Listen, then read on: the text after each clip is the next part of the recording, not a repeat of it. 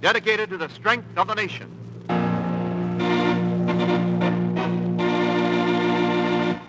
Proudly we hail.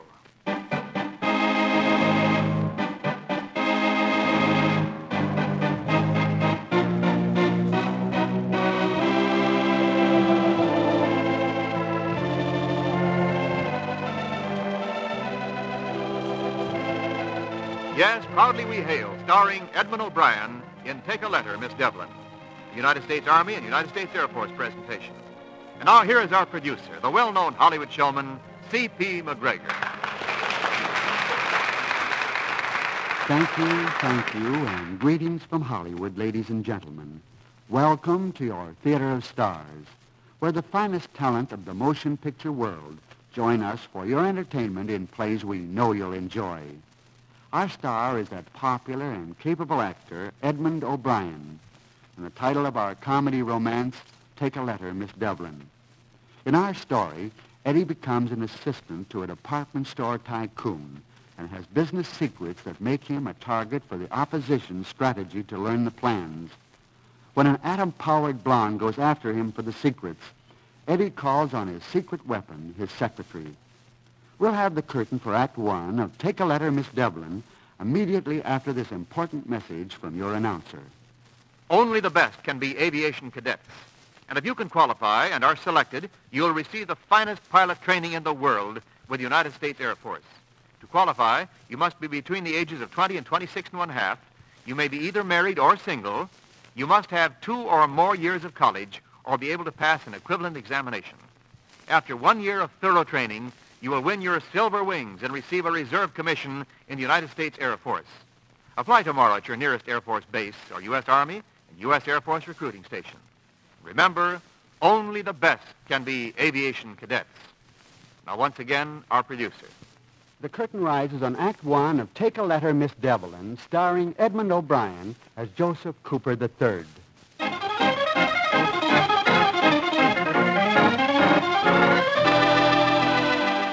Weaver's department store stood directly across the street from King's department store, which made their rivalry through the years rather intimate. But, as a matter of record, Weaver's had been there first. And, as a matter of fact, W.L. Weaver, venerable owner of the store, which bore his name, would never forgive his arch business rival, Clarence King, for having built directly across the street from him. All of which is well known to the mild-mannered, bespectacled young man who approaches W.L. Weaver's office at this moment. For he's Joseph Cooper III, Princeton class of 38, Weaver's general manager. From his looks, you had never dreamed that he had once been intercollegiate boxing champion. You uh, sent for me, Mr. Weaver? I most certainly did. Sit down, Joe. Thank you. Say, what the devil have you got in your buttonhole? Oh, that's uh, that's one of my prize camellias. Care for it? No, I don't care for it. Well, I'm concentrating on camellias these days. Quite proud of the way mine are doing. Well, if you'd think a little less about those camellias and a little more about this store, I'd be a lot happier. You don't understand, Mr. Weaver. When I get production on these, I plan to put one in the buttonhole of every floor walker. Well, not a bad idea. Of course, that bandit across the street, King, will immediately copy us. But you've got something there. I always keep this store uppermost in my uh, cogitations. Just see that you continue to do that. But now I have news for you. Oh, really? News of the utmost importance and the utmost secrecy. Wow. I better shut this window. Oh, yes. Of course, we are on the tenth floor, but one never knows what sparrows may be delivering information to King. How true. That character, that thorn in my side, that weasel masquerading as a man. Oh, no, not now, Mr. Weaver. We must remember to temper anger with, with compassion. I, I just can't help it. For years he's tricked me. I know. First he had to build across the street from me. Yes. Knows I always pick the best spots. So that he could spy on my operation and steal my customers. I know, I know, and you have my sympathy, Mr. Weaver, believe me. Then he starts undercutting. Yes. Now, I sell men's long underwear for a dollar fifty. He sells them for a dollar and a quarter. Unspeakable. I go to a dollar fifteen. He goes to a dollar ten. Horrible. Finally, in order to get rid of my underwear, I have to give it away. Flap and all. He's quite a competitor, all right. Yes, when he's wearing the brass knuckles, he is. Ah, but I've got him now. That's the news I have for you. We're going to break ground next month for our new Westview store. Oh, well, well, that's remarkable, Mr. Weaver. Surprise? Oh, yes, I certainly am. Yes. You didn't have any idea, did you? No, no idea whatsoever. We've really got the jump on Mr. King this time. Oh, yes. You know, that community's really growing. They're going to town out there in Westview. But the most important factor is that we're going to be situated precisely where the two new highways will cross going through town. Why, Mr. Weaver, that's quite a location. I should say it is. of course, it's misleading at present. Not much out there now, but in a year's time, when we'll have our new store ready for operation, it'll be the center of town. Mr. Weaver, I congratulate you. Thank you, Joe. Thank you. Of course, we'll have to keep this very quiet Oh, for of a course, while. Can't wait to see the look on King's face when he wakes up some morning to see our store going up. yes? Mr. King's coming in. Tell him I'm out. Hello, Weaver. I'm glad you're in. Yeah, it's you. That's right. I'm Joe. How are you, Joe? I was doing quite well a moment ago, weren't we, Mr. Weaver? Yes, we were.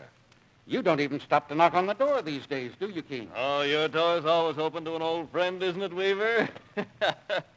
I just dropped in to confirm a bit of news I just received. A bit of news. Yes, that you're going to build a branch store in Westview. Why, who who told you? Who told you that? Thanks for confirming my little news, Weaver. Confirming it. I deny it. Oh, stop it. There's confirmation written all over that sourpuss of yours.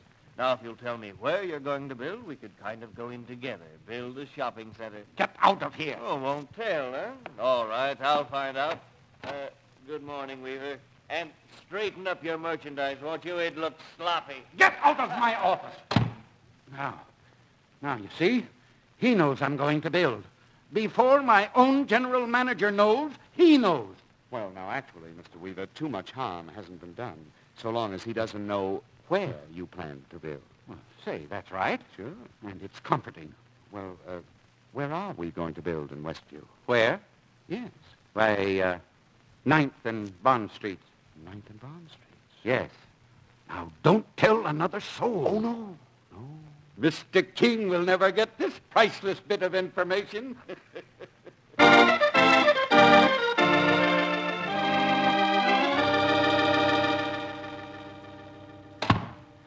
morning, Miss Devlin. Good morning, Mr. Cooper. Uh, Miss Devlin, are you alone? Well, yes. And why are you looking so secretive this morning? Well, I just talked to Mr. Weaver. He doesn't want Mr. King to know something, something he told me. Well, people are telling people things every day. No, you don't understand, Miss Devlin. This is dynamite if it ever gets out. Well, if Mr. Weaver told you something confidential, just keep it to yourself. Don't tell anyone. Button your lip. Button my lip. Hmm. I never thought of that, Miss Devlin. Oh, simple things always seem to escape the complex mind. Yes. And don't you think I've been your secretary long enough to be called Ruth? Yes. Ruth. Forgive me. It just seems so uh, informal.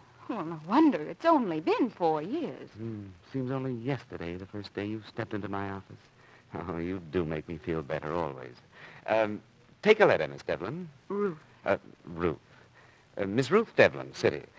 Uh, would you care to accompany me to the Camellia Show this coming Sunday at the auditorium? Uh, we could even have dinner afterwards. Well, how nice of you. Yes, I, I thought it showed considerable uh, imagination, phrasing it to you in the form of a letter. Oh, it did. And it's the first time you've asked me out. Well, I'd love to go out with you.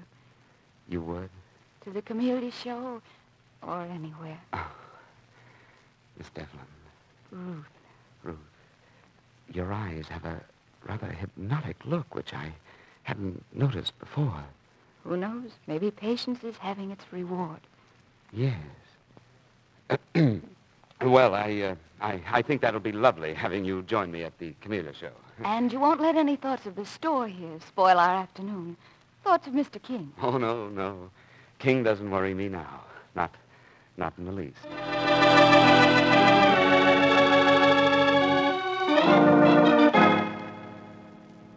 Well, Mr. King, will I do? Honey, you'll do but good. I'm glad you approve. Now you understand what you're supposed to do. I think so, but let's check. I'm to go to the Camellia show. That's right. You look for a fellow with horn-rimmed glasses. That's Cooper, the general manager of Weaver's store across the street. You can't miss him. He looks like a football player wearing a camellia. Oh, I won't miss him. And now, all you want is the site of the new store in Westview, right? That's all, honey, but that's enough. Now, remember, I don't think Cooper has ever been out with a woman in his life, so take it easy. Oh, I'll handle him as if he were a rare piece of crystal. And uh, if I'm successful, 500 bucks. Good luck.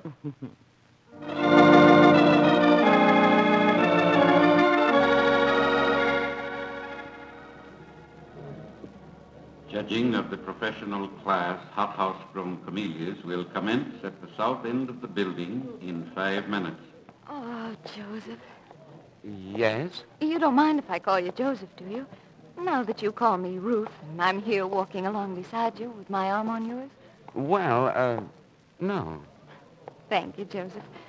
Oh, stop looking at those camellias a minute and look at me. What?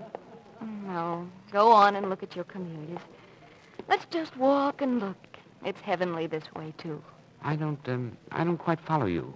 Oh, you will sometime. I'm very patient. Oh, you are? Oh, well, then you'd be very good with camellias. Oh, I would be. Oh, yes. Think of it, though. This is our first afternoon together. Couldn't be more delightful. Here with the flowers. Oh, it simply couldn't. I know that today history is being created.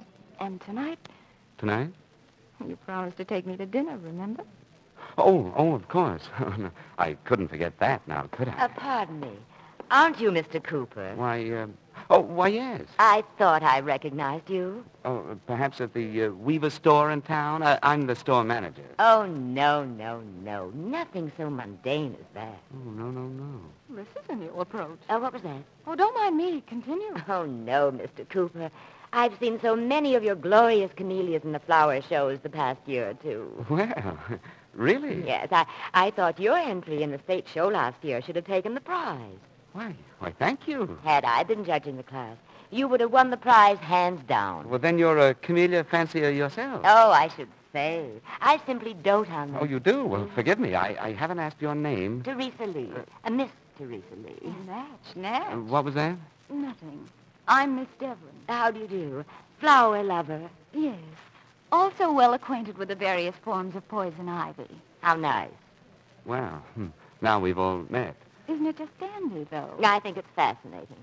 Uh, well, Mr. Cooper, I don't want to keep you. Only a moment. Oh, you don't have to rush off. I'm, uh, I'm with Petal, the horticultural magazine. Well, isn't that, isn't that splendid? Well, I don't know about that, but my publishers have been very anxious for me to do a yarn on you. On me? Mm-hmm. Well, that's a surprise. Oh, now you're just being modest. And so charming along with it. Hmm. She spreads it on with a trowel. Uh, I beg your pardon. Ruth. the woman demonstrating the peat moss over there. Oh, how fascinating. But, Mr. Cooper, could I have an interview with you? Why, I, I'd be very honored. When? Well, uh, uh, sometime next week. Well, I have a deadline to meet. You know how that is. What time would be convenient with you? Well, how about uh, tonight? Well, yes. Oh, oh uh, you wouldn't mind, would you, Ruth? Oh, no. I wouldn't mind, not at all. Of course, we could all go to dinner together. Well, that's what I Oh, meant. but then, Mr. Cooper, we wouldn't have an opportunity to talk. Oh. Uh, Well, Oh, I'll drop out. Put me in a cab, Joe. Goodbye, Miss. Lee. uh, really, Ruth, I hate to do this. Oh, I insist. There isn't anyone who has a chance to be written up in petal. No, that's true.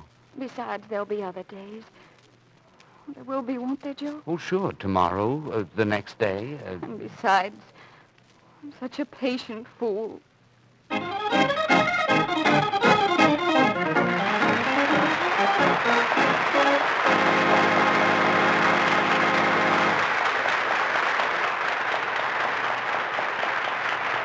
To pause briefly from our story, take a letter, Miss Devlin, starring Edmond O'Brien, to bring you an important message from your government. Ladies and gentlemen, our Army and our Air Force are critically short of physicians and dentists.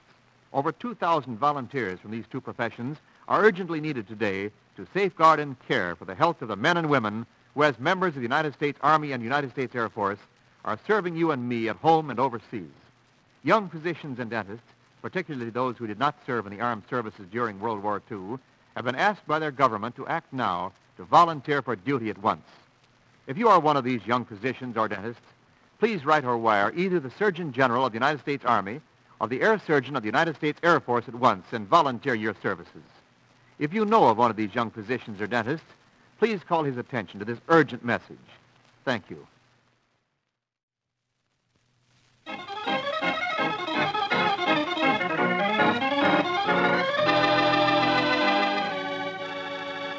Curtain rises on Act Two of Take a Letter, Miss Devlin, starring Edmond O'Brien as Joseph Cooper III.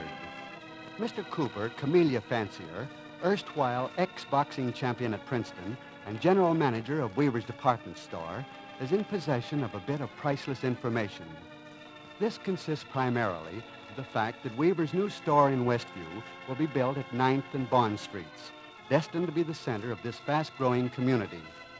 In order to gain this information, Clarence King, owner of the opposition store, has put a blonde, Teresa Lee, on the trail of bashful young Mr. Cooper. Miss Lee, it seems, has quite captivated our camellia fancier, so much that his lovely secretary, Ruth, is almost at wit's end. As our scene opens, W.L. Weaver, owner of the store, steps into Cooper's office.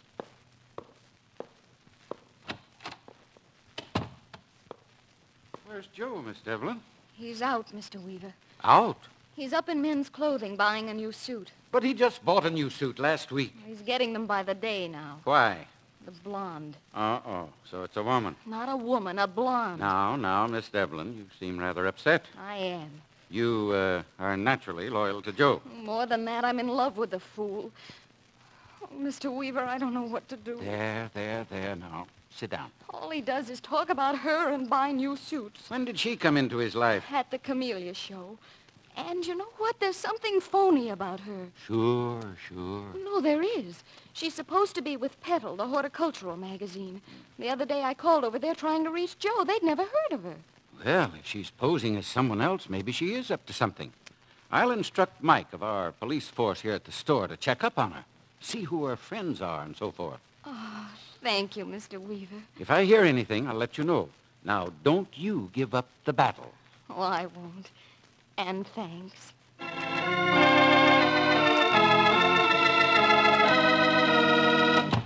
Well, Ruth, how do you like my new suit? You really want to know? Why, by all means. It's atrocious. Oh, you're joking. Any self-respecting awning maker would turn down that fabric. Why, I thought it was quite sharp. Matter of fact, as she did, too. Who? Teresa, she picked it out. Say no more. I guess we all don't coincide in our tastes. I guess we don't. I'll be uh, leaving a little early tonight. Again? Why, Ruth? Must I gain your permission before leaving the store? I'm sorry. I have a rather early engagement. With her?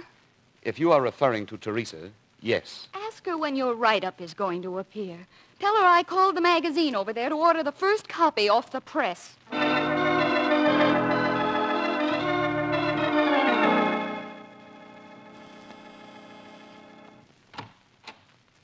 Good evening, Teresa. Oh, Joe, come in. Thank you. Oh. Oh, you dear, dear boy. Hmm? You look tired tonight. I do? Yes. Come over here and sit in this chair. And let me rub your forehead. Oh, All right. Oh, you are tired, aren't you? Oh, I, I really wasn't. Uh, that is, not until you mentioned it. Now I'm, I'm, I'm really tired. Oh, you poor boy. You've just been working so hard, haven't you? Oh, well, uh, not really. I think you should have more help in your office. Hmm? Or perhaps that girl you have. Uh, shouldn't she be replaced? Oh, no, not Ruth. She's a wonder. Oh, Joe, dear, you're so tired. Yes, I, I'm dead. Oh, poor boy. By the way, um, um, when will my story come out? A, a story? Uh, yes. Ruth, my secretary, was wondering. She told me to tell you that she called the magazine to order. She uh, called the magazine? Uh huh. Well, that, uh, uh, that was very considerate of her. Oh, you poor boy. There, does that feel better? No, it's worse. I think I'd better go home and go to bed. I know you've been so busy. I understand you're planning a new store in Westview. Hmm? Who, who told you that? My dear, uh, a brother who lives out there. Oh, Yes, a camellia fancier, too. oh, really? Oh, yes. Mm. Why, in his more affluent days, He used to import camellias from Hong Kong. Hong Kong. Yes, but now with a wife and a family of ten children. Ten children. Yes, yes, soon to be eleven. Well, now he can't afford the luxury of a plant. Well, I, I shall send him some blossoms. Oh, Joe, how kind of you. You know, he often felt, my brother, that if he just knew which way the town was going to move there in Westview, with the few dollars he has to invest, he could make out. And of course, your new store will certainly point the way. Oh, listen, I wouldn't say this to anyone except a man with, with ten children, but Oh. you tell your brother there will quite possibly be considerable activity in the vicinity of Ninth and Bond Streets. Uh, did you say Ninth and Bond Streets? Mm-hmm, that's right. Oh, you are a dear, Joe. Oh, oh, I, I suddenly have the most horribly splitting headache, Oh, Joe. I'm sorry. Oh, you, you will forgive me if I trundle you on Oh, home. oh, certainly, certainly. you, you've talked me into the desire for some rest myself. Oh, yes. Well, good night, Good Joe. night, dear. Good night, dear boy. Get rest, won't you? Oh, yes. Oh, and say, uh, don't mention that address in Westview to, to anyone, will you? My dear, perish the thought.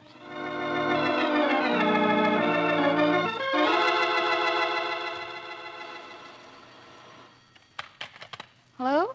Mr. Weaver, Ruth. Oh, yes, Mr. Weaver. You in yet? No, but I imagine he was out late last night. The blonde? Unfortunately, yes. Incidentally, I have some information for you. We've checked up on her.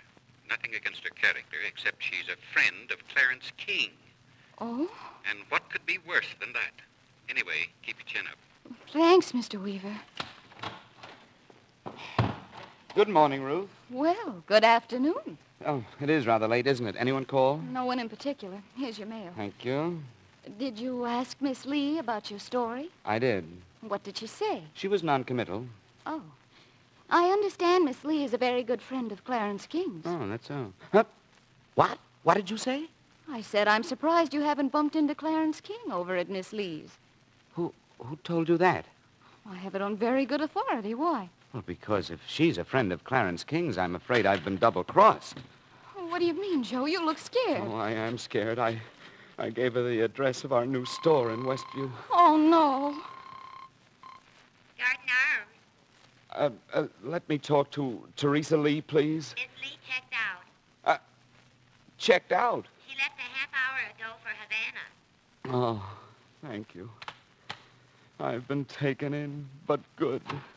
Good morning, children. It's Mr. King. So it is. Just stopped in for a minute on my way up to Weaver's office to tell him about some building I'm going to do in Westview. I'm just bursting so with joy, sunshine, and good cheer this morning, I had to pass a little of it along. Then, then the world is all right with you, Mr. King? Ah, my boy, if you only knew how all right it is. Well, I'll be bustling along. Just a minute, Mr. King. I haven't done anything like this for a long time, but I'm afraid I'm impelled to add to your mourning. What was that for? As if you didn't know. I'll sue you. You can sue me, but don't get off that floor or I'll deposit you right back on it. All right, Joe. Joe, you, you're a brute. I'm a fool. Well, come on. I've got to tell Mr. Weaver.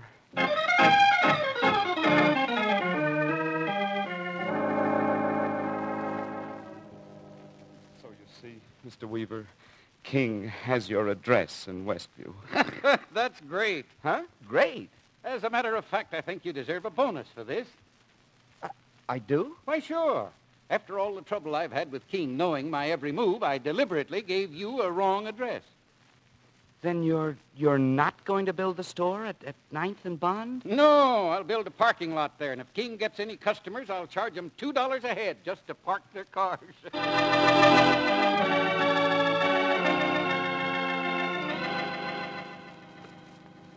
Take a letter, Miss Devlin. Ruth. Oh, Ruth. Uh, dear Miss Devlin, I have been both a fool and an idiot. Please know that I realize that, and I, I only wish that, May I continue this letter for you? by all means. Come here. I'm going to kiss you. Oh, Shall I continue? By all means. Uh, I mean, uh, uh, you just can't end the paragraph there.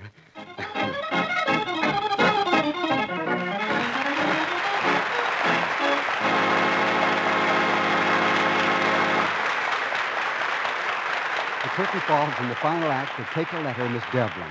Our star, Edmond O'Brien, will return for a curtain call after this timely message from Wendell Niles. This is important. This is urgent. Over 2,000 young physicians and dentists are needed as volunteers at once for service in the United States Army or United States Air Force.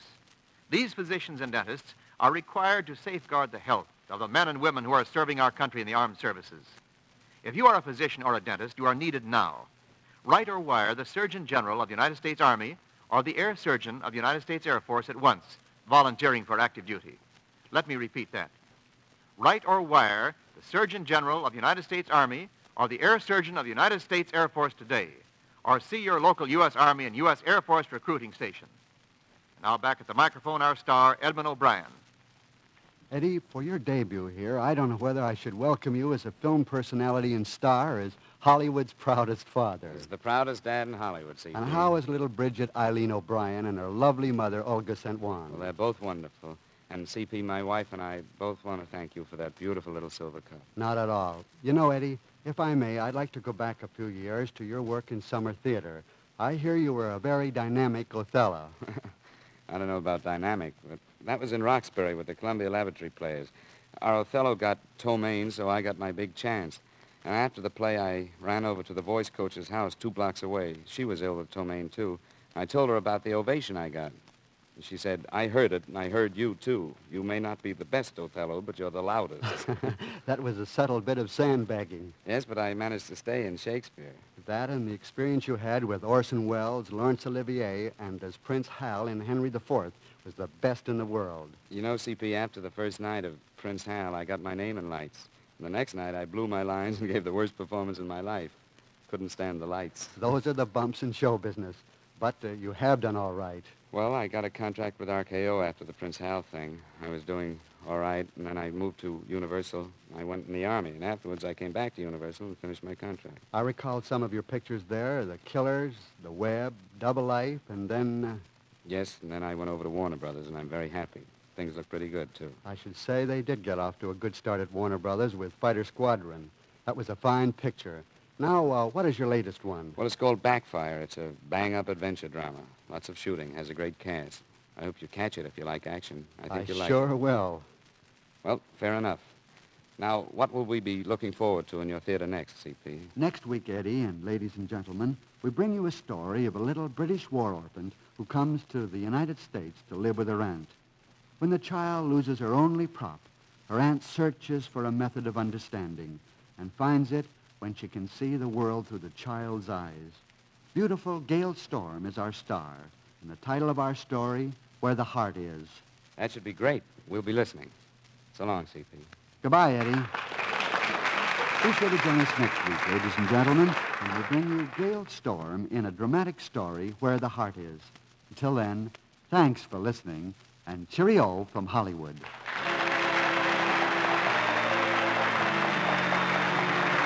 Edmond O'Brien appeared through the courtesy of the Hollywood Coordinating Committee, which arranges for the appearance of all stars in this program.